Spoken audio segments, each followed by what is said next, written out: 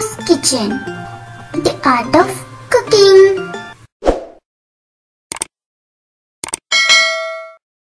Hi friends എന്തൊക്കെയുണ്ട് വിശേഷമൊക്കെ? അപ്പോൾ ഇന്ന് ഞാൻ വന്നിട്ടുള്ളത് നാല് മണിക്കൊക്കെ കഴിക്കാൻ പറ്റിയ അതുപോലെ ഗസ്റ്റ് ഒക്കെ പെട്ടെന്ന് വരുമ്പോൾ ഉണ്ടാക്കാൻ പറ്റിയ നല്ല അടിപൊളി സ്നാക്കിന്റെ ഒരു റെസിപ്പി ആയിട്ടാണ്. ഇതിൽ മെയിനായിട്ട് മുട്ടയും പഴമാണ് കേട്ടോ യൂസ് ചെയ്തിട്ടുള്ളത്. എപ്പോഴും നമ്മുടെ വീടുകളിലൊക്കെ ഉണ്ടാവുന്നതല്ലേ? അപ്പോൾ നമുക്ക് ഡയറക്റ്റ് വീഡിയോയിലോട്ട് പോകാം.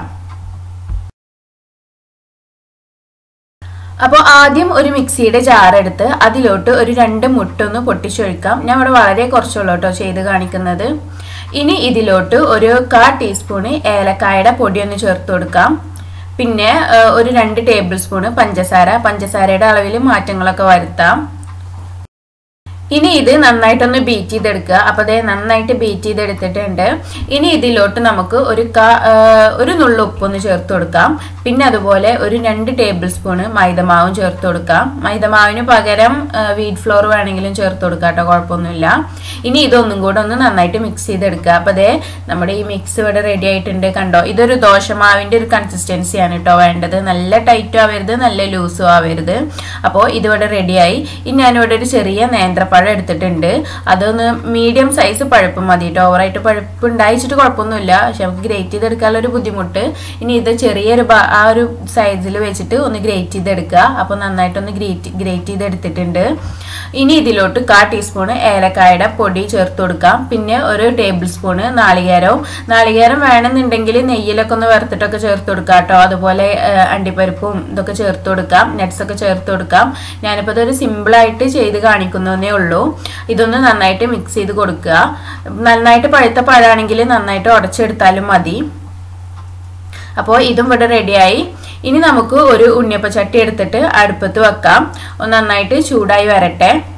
അപ്പോൾ നന്നായിട്ട് ചൂടായി വന്നാൽ ഇതിലോട്ട് ഒരു ടീസ്പൂണ് ഓയിൽ ഒന്ന് ചേർത്ത് കൊടുക്കുക. ഞാൻ ഇവിടെ സൺഫ്ലവർ ഓയിലാണ് എടുത്തിട്ടുള്ളത്. ഏത് ഓയിൽ വേണമെങ്കിലും എടുക്കാം. എന്നിട്ട് എല്ലായിടത്തേക്കും ഒന്ന് ആക്കി കൊടുക്കുക. ഇനി നമ്മൾ ഉണ്ടാക്കി വെച്ചില്ല മുട്ടയുടെ മിക്സ് അത് കുറേശ്ശെ കുറേശ്ശെ ഇതിലോട്ട് ഒഴിച്ചു കൊടുക്കുക. ഒരു കാ ഭാഗം മതി. ഇത് ശരിക്കും ഓവറായിട്ടുണ്ട് കേട്ടോ. ഇനി നമ്മൾ മിക്സ് ചെയ്ത് വെച്ച പഴത്തുനിന്ന് കുറച്ച് വളരെ കുറച്ച് കുറച്ചെടുത്ത് അതായത് ഒരു അര ടീസ്പൂണ് മതി. എല്ലായിടത്തും എല്ലാത്തുക്കും ഒന്ന് ആക്കി കൊടുക്കുക. എല്ലാത്തിലും ഒന്ന് ആക്കി കൊടുത്തിട്ടുണ്ട്. ഇനി ഇതിന്റെ മുകളിലോട്ട് വീണ്ടും നമ്മൾ റെഡിയാക്കി വെച്ച ബാറ്ററി ഇല്ലേ അത് ഒഴിച്ചിട്ട് അതൊന്ന് കവർ ചെയ്തെടുക്കുക. ശരിക്കും പറയുകയാണെങ്കിൽ ഈ കുഴി ഇങ്ങനെ നിറയ്ക്കരുത് കേട്ടോ ഇങ്ങനെ നിറഞ്ഞാൽ നിറഞ്ഞ് കവിയണുണ്ട്. അത് കുക്കായി വരുമ്പോൾ ഞാനത് മറന്നിരുന്നു. അപ്പോൾ ഒരു മുക്കാ ഭാഗം നിറച്ചാൽ മതി. നമ്മൾ ആ പഴമൊന്ന് കവർ ചെയ്യാന്നുള്ള ലക്ഷ്യമാണ് ഇനി ഇത് നമുക്കൊന്ന് അടച്ചു വെച്ചിട്ട് ഒരു രണ്ട് മൂന്ന് മിനിറ്റ് ഇങ്ങനെ വെക്കാം. ലോ ഫ്ലെയിമിൽ വെച്ചാൽ മതിയേ. അപ്പോൾ രണ്ട് മൂന്ന് മിനിറ്റ് ഒക്കെ കഴിഞ്ഞിട്ടുണ്ട്. ഇത് കണ്ടോ? ആകെ പൊന്തി വന്നിട്ട്. അപ്പോൾ നിറച്ച് ഒഴിച്ചു കൊടുക്കരുത് കേട്ടോ നമ്മൾ നിറയെ ഒഴിച്ചു കൊടുത്തോണ്ടാണ് ഇങ്ങനെ. അപ്പം ഇനി മറിച്ചിടാനൊക്കെ ബുദ്ധിമുട്ടാണ്. അപ്പം ഇനി ഇതൊന്ന് മറിച്ചിട്ട് കൊടുക്കണം. അതിന്റെ അടിഭാഗം ആ മുകൾ ഭാഗം കൂടെ ഒന്ന് കുക്കായിക്കോട്ടെ അത് ഒരു സൈഡ് മറിച്ചിട്ട് കഴിയുമ്പോഴേക്കും ഇതിപ്പുറത്ത് കുക്കായി വന്നിട്ടുണ്ടാവും. അപ്പോൾ അതെല്ലാതും എടുക്കുക എന്നിട്ട് നേരത്തെ ചെയ്ത പോലെ തന്നെ ഓയിൽ ഫുള്ളൊന്ന് സ്പ്രെഡ് ചെയ്ത് കൊടുക്കുക അടുത്ത ബാച്ചും ഇതുപോലെ തന്നെ ചെയ്തെടുക്കുക പക്ഷേ മുക്ക ഭാഗം ഒഴിച്ചാൽ മതി എന്ന് മാത്രം.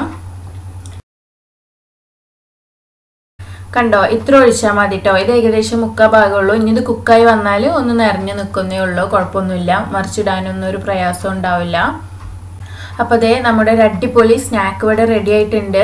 നല്ല ടേസ്റ്റാണ് കേട്ടോ ഇത് കഴിക്കാൻ ഇതൊരു പാകത്തെ മധുരമേ ഉള്ളൂ. മധുരം അത്യാവശ്യം വേണമെന്നുള്ളവർക്ക് കുറച്ചും കൂടെ കൂട്ടി ചേർത്ത് കൊടുക്കാം. നമ്മളിങ്ങനെ കഴിക്കുമ്പോൾ മട്ടിക്കാത്ത രീതിയിലുള്ള ഒരു മധുരം ഉള്ളൂ കേട്ടോ ഇത്. അപ്പോൾ ഒരുപാട് മധുരം ആയാലും നമുക്ക് പെട്ടെന്ന് ചടപ്പ് തോന്നൂല. അതായത് വേണ്ടാന്ന് തോന്നൂലേ. അതുകൊണ്ടാണ് ഞാൻ വളരെ കുറച്ച് മധുരം ചേർത്ത് കൊടുത്തിട്ടുള്ളത്. അപ്പോൾ ട്രൈ ചെയ്യാൻ പറ്റുന്ന കൂട്ടുകാരൊന്ന് ട്രൈ ചെയ്ത് നോക്കിയിട്ട് ഫീഡ്ബാക്ക് അറിയിക്കുക. വീഡിയോ ഇഷ്ടപ്പെട്ടെങ്കിൽ ലൈക്ക് ചെയ്യുക. ഇഷ്ടപ്പെട്ടിട്ടില്ലെങ്കിൽ തീർച്ചയായിട്ടും നിങ്ങൾക്ക് ഡിസ്ലൈക്ക് ചെയ്യാം. അതുപോലെ തന്നെ കമന്റ് ചെയ്യുക കേട്ടോ പിന്നെ വീഡിയോ ഇഷ്ടമായാൽ ഫ്രണ്ട്സിനും കസിൻസിനൊക്കെ ഒന്ന് ഷെയർ ചെയ്യണേ. പ്ലീസ് അപ്പോൾ ശരി. താങ്ക്